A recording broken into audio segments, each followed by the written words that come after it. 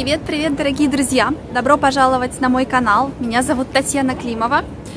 И сегодня у нас будет экскурсия по Красной площади. Привет, привет! Я уверена, что вы уже очень скучаете по России, по русскому языку. И пока во время пандемии еще нет э, туристических виз, э, но я хочу вам сделать сегодня маленькую экскурсию. Пожалуйста, используйте, используйте субтитры. Итак, вы видите, мы на Красной площади. Это символ России. И вы видите, это ГУМ.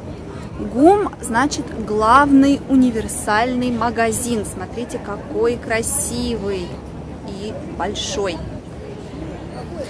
А, там очень много шикарных магазинов, бутики дорогие, но ГУМ это не только магазины, это также место для гуляния, чтобы гулять. Э, и также вы можете там попробовать легендарное мороженое, очень вкусное, пломбир или эскимо. А раньше было только ванильное, сейчас можно попробовать разные ароматы, вкусы.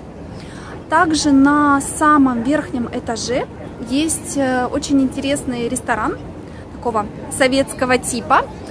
Называется «Столовая номер...» Я не помню. Если вы знаете, пишите в комментариях. «Столовая».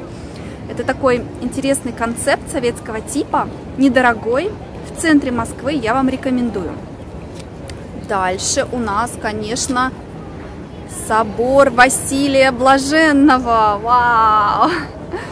Самая прекрасная церковь России, туристическая. Она была построена в 16 веке Иваном Грозным, такой очень известный царь русский.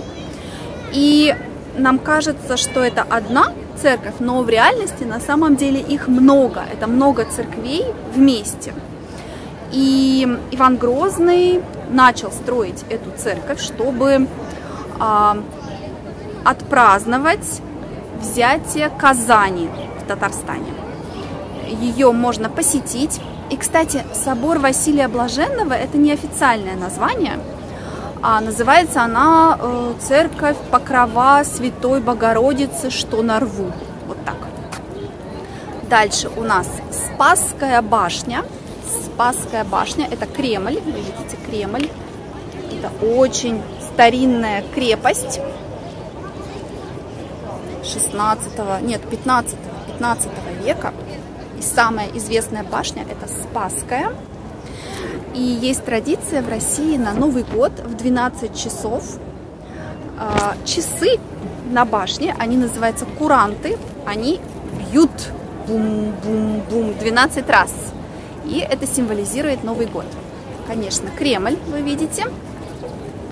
Это музей, его можно посетить. Там есть церкви. И также э, это резиденция, официальная резиденция президента Российской Федерации. А здесь у нас, если вы любите историю советскую, а если вам нравится коммунизм, социализм, вот здесь мавзолей Ленина, лидера большевиков. А я там была, когда была маленькая, очень давно. Обычно здесь стоит очередь большая. Кстати, интересно посетить еще раз. Может быть, в этот раз я посещу еще раз этот музей. И вы видите, здесь это исторический музей, тоже очень интересное здание. А, там есть вообще постоянная выставка об истории Москвы, России, очень уникальные экспонаты. И также есть временные выставки, то есть выставки, которые там только несколько месяцев. Например, я ходила на выставку э, гравюр Дюрера, очень интересно. Или там сейчас идет выставка э, костюма императорской семьи. Вот так, дорогие друзья. От Красной площади идут разные интересные улицы. А можно пойти в Китай город, можно пойти в парк Зарядье, можно пойти на Тверскую, на Никольскую улицу.